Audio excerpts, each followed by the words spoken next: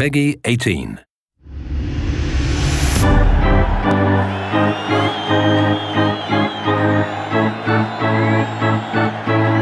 Hello, Steelport.